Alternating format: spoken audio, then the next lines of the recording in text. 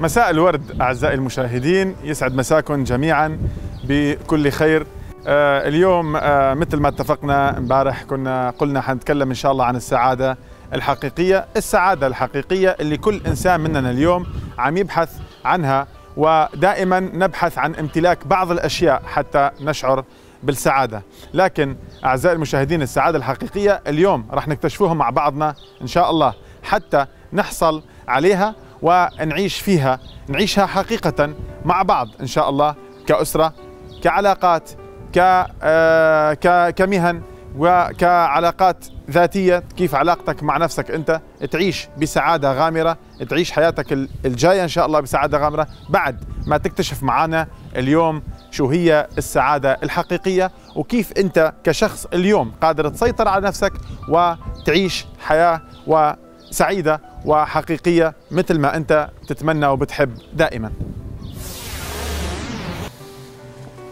السعادة الحقيقية لو اليوم سألت أي شخص شو هي السعادة بالنسبة لك راح تلاقيه هو رابطها بشيء معين.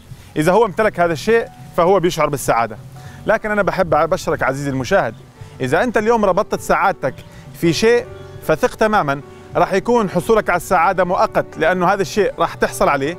ويتعل يتأقلم عليه عقلك اللاواعي ويصير بالنسبة له حاجة عادية جدا. لذلك يفترض أنه أنت اليوم ما تربط سعادتك في امتلاكك لشيء معين. ليش؟ لو بحثنا عن السعادة راح نجد بنهاية الأمر امتلاكي لأي شيء هو يعطيني شعور. الشعور هذا هو الشعور اللي أنا بشعر من خلاله في سعادة والسعادة الغامرة. لذلك مش امتلاكي للشيء هو الأساس ولكن الشعور اللي أنا بحصل عليه هو الأساس بالنسبة لي وهو السعادة الحقيقية. راح نشوف كيف. قصة عجبتني كثير كثير ريتشارد برانسون اللي عنده إمبراطورية برانسون. رجل أعمال أمريكي معروف. عنده شركة طيران اسمها Virgin Airways. شركة قوية جدا أو اسمها حتى عنده إمبراطورية عنده مجموعة شركات. هذا الشخص في يوم من الأيام ريتشارد برانسون حب أنه يطلع رحلة سياحية في قارب في أحد القرى. في هناك بحيرة جميلة جدا بينها بين أشجار وأشجار خضر وعصافير وفيها أجواء جدا رائعة. فحب شوية هو يعمل تأمل أو يريح أعصابه من العمل من ضغط العمل. فحب أنه يروح يعمل رحلة ما يقارب صغير مع التجديف. فكان نصيبه أنه طلع مع شاب وأثناء الطريق وأثناء الرحلة تبعه سأل الشاب هذا سؤال. قال له أنت اليوم عم تعمل هاي الرحلة؟ ليش ما فكرت أنه أنت تشتري قارب آخر؟ قال له أشتري قارب آخر ليش؟ شو السبب إذا بدي أشتري قارب آخر؟ قال له اشتري قارب آخر يعني بصير عندك دخل أكثر. طيب قال له ليش يكون عندي دخل أكثر؟ قال له ممكن وقتها تكبر الشركة تبعك ويصير عندك شركة سياحية وتجيب موظفين أكثر وتعمل قوارب أكثر. قال له طيب ليش أعمل هذا الشيء؟ قال له مع الزمن بصير عندك شركة كبيرة جدا بصير عندك أموال كثيرة وبالتالي بس يصير عندك أموال كثيرة بتصير تعمل مثلي رحلات هيك سياحية في القارب. فقال له الرحلة هاي أنا كل يوم بعملها بدون ما أعمل كل الدورة اللي أنت هاي عملتها بدون ما أنا أكبر العمل تبعي وأزيد الضغط على نفسي وإلى آخره. فأنا بعملها كل يوم. إذا أنا كل يوم بشعر بالسعادة بدون امتلاكي لهاي الأشياء اللي أنت تكلمت عنها. لذلك عزيزي المشاهد من هاي القصة نحن متأكد الآن أنه السعادة الحقيقية هي موجودة عندك. لكن لازم أنت تبحث عنها في داخلك. ربنا سبحانه وتعالى قال وفي أنفسكم أفلا تبصرون. شوف شو عندك من النعم الداخلية. شوف الشيء اللي أنت عندك واشعر بالامتنان واشكر ربنا سبحانه وتعالى عليه. تعال أسألك سؤال عزيزي المشاهد. أنت اليوم لو قعدت وطلبت منك تكتب سؤال هل أنت حياتك تسير بشكل مثالي 100% مثل ما أنت بتتمنى؟ طبعا الآن لو كتبت هذا السؤال حتلاقي في إجابات راح تكون سلبية من الوعي تبعك وتقول لك لا لأني ما أمتلك هذا الشيء لا لأني ما عندي ما أمتلكت السيارة اللي أنا بدي إياها لا لأني ما ما أمتلكت البيت لا لأني ما تزوجت لا لأني ما حصلت على أولاد لا لأنه صحتي تعبانة لا لأني ما بلعب رياضة لا لا فحتلاقي كثير لاءات موجودة تمنعك من أنه أنت تكون سعيد.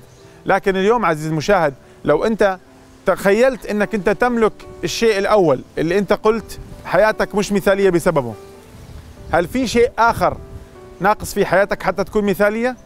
اكتب هذا التمرين عزيزي المشاهد وراح نشوف مع بعض كيف أنت قادر تشعر بالسعادة من داخلك بدون امتلاك أي شيء لأنه الشعور مثل ما قلنا شعور السعادة بيأتي من الداخل. لذلك اكتب هذا التمرين الآن طبقه حتى تتأكد أنه السعادة حقيقية من الداخل. إنه أنت اليوم اكتب السؤال هل أن حياتي تسير بشكل مثالي 100% كما أتمنى؟ الجواب الأول رح يجيك حيقول لك لا لأنه كذا. اكتبها. ولو الآن السؤال الثاني لو كنت تملك هذا الشيء هل ستكون سعيد؟ ممكن كمان يكون في عندك سؤال ثاني ناقصك شيء ثاني في حياتك. لذلك كمان هذا الشيء الثاني اكتبه وارجع اسأل نفسك سؤال إنه لو أنا هذا الآن عندي تخيل إنه هذا الشيء عندك اللي أنت بتقول لا تملكه. تمام؟ يعني على سبيل المثال أنا بقول آه إنه لا حياتي مش ماشية مثل ما أنا بتمنى. ليش؟ لأني أنا ما عندي البيت اللي أنا بتمنى واللي كان من ضمن قائمة أحلامي. لسه لا أملكه. طيب تخيل إنه أنت الآن عندك البيت. هل حياتك تمشي أو تسير بشكل مثالي 100% بتقول نعم ولكن ناقصني يكون عندي سيارة فارهة مثلا. تمام؟ اذا كمان تخيل الآن لو أنت تملك البيت والسيارة هل حياتك تسير كمان بشكل مثالي؟ 100% حتقول لا ممكن ناقصني إني أنا أتزوج ناقصني شريكة الحياة أو ناقصني شريك الحياة. اذا دائما ستبحث عن أشياء تشعر فيها من خلالها من خلال امتلاكها بالسعادة. لذلك خلينا نركز اليوم على أساس إنه أنت تخيل لو امتلكت كل شيء. تخيل معي الآن تمتلك أي شيء من الأشياء اللي ذكرتها إنه هي مانعيتك من إنك تعيش السعادة الداخلية. تخيل إنك تشعرهم. والعقل لا يفرق بين الحقيقة والخيال. لذلك هذا الشيء راح يؤدي إلى أنك تشعر هذاك الشعور اللي كأنك أنت تمتلك هاي الأشياء اللي تؤدي لسعادتك. لذلك عزيزي المشاهد أنت اليوم مجرد أنك تتخيل أنك تمتلك هاي الأشياء راح تشعر شعور السعادة اللي أنت تبحث عنه. لو أنك امتلكتها اذا هو بالنهاية هذاك الشعور اللي إحنا بنبحث عنه لأنه السيارة هي عبارة عن حديد. لا تعني لي شيء. لكن امتلاكها يعطيني شعور الشعور هذاك اللي نحن دائما نتمناه. ولما تشكر ربنا وتمتن امتنان شديد على الأشياء اللي أنت تملكها راح يزيد الرضا عنك. ربنا سبحانه وتعالى قال آه ولا إن شكرتم لأزيدنكم. الشكر على شو؟ تشكروا على النعم اللي أنت تمتلكها. تشكروا على الاحساس اللي عندك على الشعور اللي عندك. وبالتالي حيزيد الرضا. الرسول عليه الصلاة والسلام قال لن يرضى الله عليكم حتى ترضوا عليه. فقالوا الصحابة يا رسول الله كيف نرضى عليه؟ قال إنه تسعدوا وتشعروا برضا وتشكر ربنا على كل شيء على الحلوة وعلى المرة بما معناه. وبالتالي الإنسان لما يقول إن لله وإنا إليه راجعون ولما يفقد أي شيء عنده ويكون سعيد وعنده شعور رضا هذاك راح دائما ربنا سبحانه وتعالى يزيده هذا الشعور من الرضا ويعيش الحياة اللي هو بيتمناها. لذلك عزيزي المشاهد من اليوم اتأكد أنه السعادة الحقيقية في داخلك أنت. السعادة الحقيقية أبحث عنها في داخلك وليس في امتلاك الأشياء. ياما ناس عندهم سيارات وعندهم بيوت وعندهم كثير أشياء ولكن يتمنوا يكون عندهم حاجة واحدة فقط أنت تمتلكها.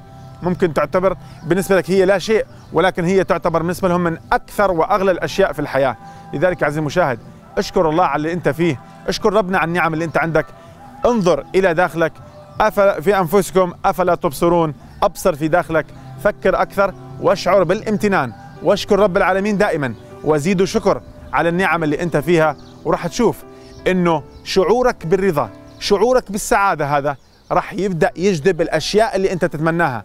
لأنه أي شيء بدك تمتلكه لازم تتخيله وتشعر بالراحة والرضا تجاهه وبالتالي الكون هذا كله المسخر إلنا راح يسخر لك الطرق والوسائل اللي تحصل على الشيء اللي بدك إياه. لكن يبدأ الشعور أولا من قلبك أنت وتكون شاعر بالسعادة. بهذا اليوم عزيزي المشاهد بنكون وصلنا لنهاية حلقتنا اللي هي تكلمنا فيها عن السعادة الحقيقية. أتمنى أنه تكونوا شعرتوا إن شاء الله بالسعادة معنا اليوم وأتمنى تبدأ حياتك من اليوم سعيدة. اكتب أي شيء تشعر فيه بالشكر تجاه رب العالمين. أي شيء عندك نعمة اكتبها حتى تشوفها كل يوم وتشكر ربنا عليها حتى يزيدك من هذا الرضا. وكون معنا إن شاء الله بكرة راح نتكلم عن شيء مهم جدا جدا جدا. بعد ما تمتلك الشعور القوي بالسعادة راح نساعدك كيف تتعلم وتمتلك شعور الثقة بالنفس. ونشوف شو هي مدى قوة الثقة بالنفس لما أنت تمتلكها كشخص. لذلك كونوا معنا في حلقة بكرة إن شاء الله ويسعد مساكم مرة ثانية.